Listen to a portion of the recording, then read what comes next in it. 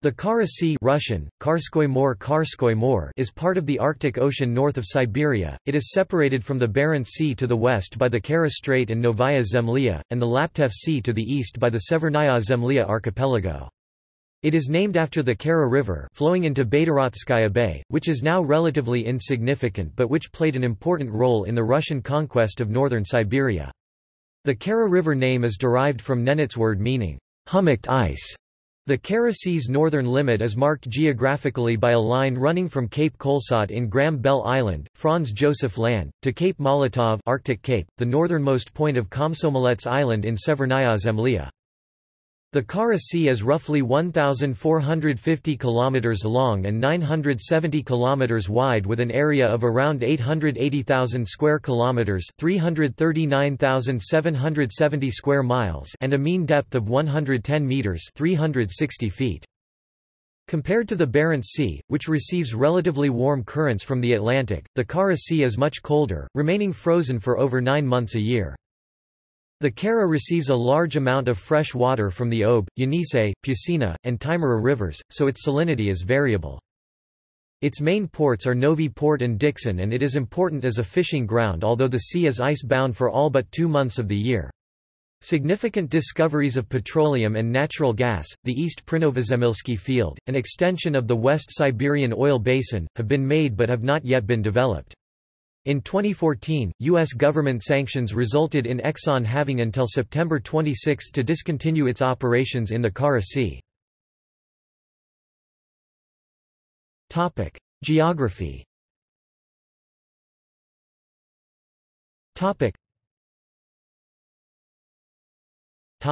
Extent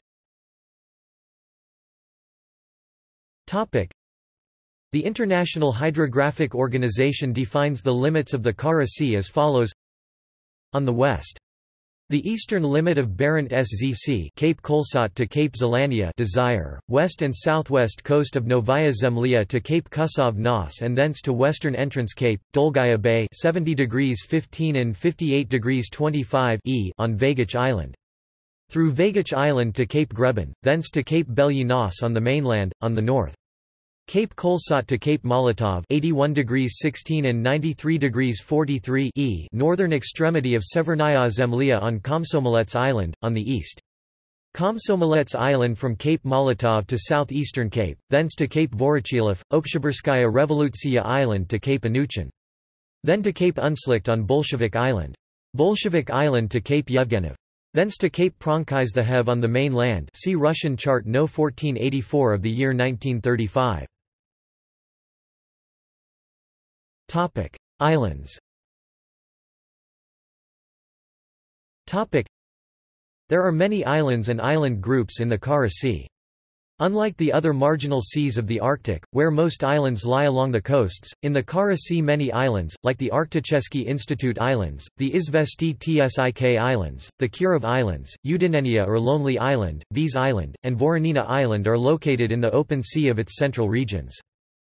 The largest group in the Kara Sea is by far the Nordenskjöld archipelago, with five large subgroups and over 90 islands. Other important islands in the Kara Sea are Bely Island, Dixon Island, Taymyr Island, the Kamenyi Islands and Oleni Island. Despite the high latitude all islands are unglaciated except for Ushakov Island at the extreme northern limit of the Kara Sea. History The Kara Sea was formerly known as Oceanus Scythicus or Mare Glaciale and it appears with these names in 16th-century maps. Since it is closed by ice most of the year it remained largely unexplored until the late 19th century. In 1556 Stephen Borough sailed in the Search Thrift to try to reach the Ob River, but he was stopped by ice and fog at the entrance to the Kara Sea. Not until 1580 did another English expedition, under Arthur Pett and Charles Jackman, attempt its passage. They too failed to penetrate it, and England lost interest in searching for the Northeast Passage. In 1736–1737 Russian Admiral Stepan Malygin undertook a voyage from Dolgi Island in the Barents Sea. The two ships in this early expedition were the Pervy, under Malygin's command and the Vtoroy under Captain A. After entering the little explored Kara Sea, they sailed to the mouth of the Ob River. Malygin took careful observations of these hitherto almost unknown areas of the Russian Arctic coastline. With this knowledge he was able to draw the first somewhat accurate map of the Arctic shores between the Pechora River and the Ob River. In 1878, Finnish explorer Adolf Erik Nordenskjöld on ship Vega sailed across the Kara Sea from Gothenburg, along the coast of Siberia, and despite the ice packs, got to 180 degrees longitude by early September. Frozen in for the winter in the Chukchi Sea, Nordenskjöld waited and bartered with the local Chukchi people. The following July, the Vega was freed from the ice, and continued to Yokohama, Japan. He became the first to force the Northeast Passage.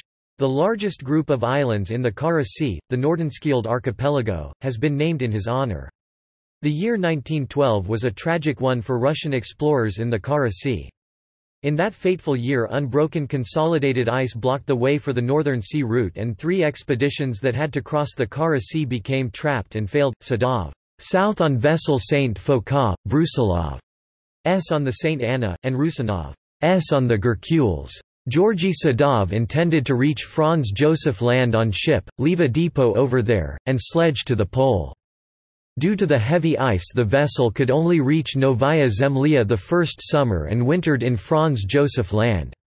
In February 1914 Sadov headed to the North Pole with two sailors and three sledges, but he fell ill and died on Rudolph Island. Georgy Brusilov attempted to navigate the Northeast Passage, was trapped in the Kara Sea, and drifted northward for more than two years reaching latitude 83 degrees 17. N. 13 men, headed by Valerian Albanov, left the vessel and started across the ice to Franz Josef Land, but only Albanov and one sailor Alexander Konrad survived after a gruesome three-month ordeal. The survivors brought the ship log of St. Anna, the map of her drift, and daily meteorological records, but the destiny of those who stayed on board remains unknown. In the same year the expedition of Vladimir Rusanov was lost in the Kara Sea. The prolonged absence of those three expeditions stirred public attention, and a few small rescue expeditions were launched, including Jan Nagorsky's five air flights over the sea and ice from the NW coast of Novaya Zemlya. After the Russian Revolution in 1917, the scale and scope of exploration of the Kara Sea increased greatly as part of the work of developing the Northern Sea route. Polar stations, of which five already existed in 1917, increased in number, providing meteorologic, ice reconnaissance, and radio facilities. By 1932 there were 24 stations, by 1948 about 80, and by the 1970s more than 100. The use of icebreakers and, later, aircraft as platforms for scientific work were developed. In 1929 and 1930 the icebreaker Sedov carried groups of scientists to Severnaya Zemlya, the last major piece of unsurveyed territory in the Soviet Arctic. The archipelago was completely mapped under Georgy Ushakov between 1930 and 1932. Particularly worth noting are three cruises of the icebreaker Sadko, which went farther north than most. In 1935 and 1936, the last unexplored areas in the northern Kara Sea were examined and small and elusive Ushakov Island was discovered.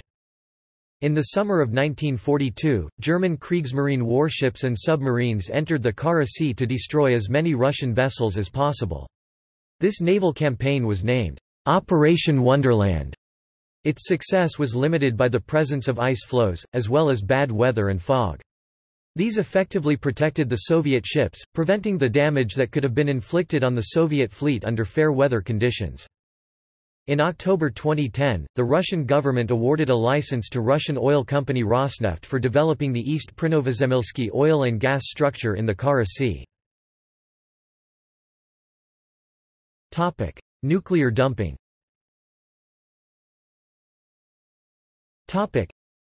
There is concern about radioactive contamination from nuclear waste the former Soviet Union dumped in the sea and the effect this will have on the marine environment. According to an official white paper report compiled and released by the Russian government in March 1993, the Soviet Union dumped six nuclear submarine reactors and ten nuclear reactors into the Kara Sea between 1965 to 1988. Solid high and low-level wastes unloaded from Northern Fleet nuclear submarines during reactor refuelings, were dumped in the Kara Sea, mainly in the shallow fjords of Novaya Zemlya, where the depths of the dumping sites range from 12 to 135 meters, and in the Novaya Zemlya trough at depths of up to 380 meters. Liquid low-level wastes were released in the open Barents and Kara Seas. A subsequent appraisal by the International Atomic Energy Agency showed that releases are low and localized from the 16 naval reactors reported by the IAEA as having come from seven submarines and the icebreaker Lenin which were dumped at five sites in the Kara Sea. Most of the dumped reactors had suffered an accident. The Soviet submarine K-27 was scuttled in Stepovogo Bay with its two reactors filled with spent nuclear fuel. At a seminar in February 2012 it was revealed that the reactors on board the submarine could re-achieve criticality and explode a buildup of heat leading to a steam explosion versus nuclear. The catalogue of waste dumped at sea by the Soviets, according to documents seen by Bellona, includes some 17,000 containers of radioactive waste, 19 ships containing radioactive waste, 14 nuclear reactors, including five that still contain spent nuclear fuel, 735 other pieces of radioactively contaminated heavy machinery, and the K-27 nuclear submarine with its two reactors loaded with nuclear fuel. Nature reserve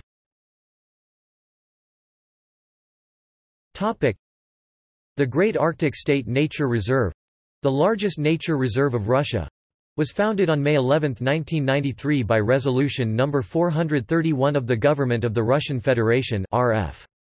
The Kara Sea Islands section 4,000 square kilometers of the Great Arctic Nature Reserve includes, the Sergei Kirov Archipelago, the Voronina Island, the Izvestiy TSIK Islands, the Arctic Institute Islands, the Sverdrup Island, Uedineniya and a number of smaller islands.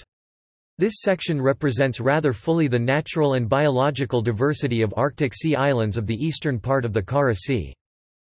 Nearby, the Franz Josef Land and Severny Island in northern Novaya Zemlya are also registered as a sanctuary, the Russian Arctic National Park. See also.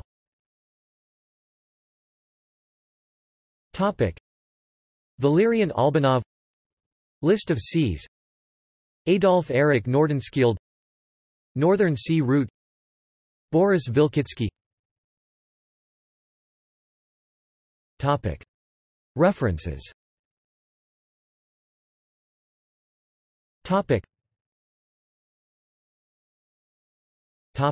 External links.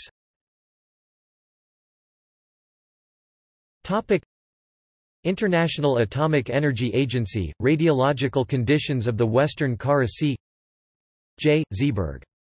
Into the Ice Sea. Sea ice and polynyas in the Kara Sea, 1 and 2 Marine pollution in the Kara Sea, 3 Ecological assessment at the Library of Congress Web Archives archived 30 September 2006 Russians describe extensive dumping of nuclear waste, The New York Times, 27 April 1993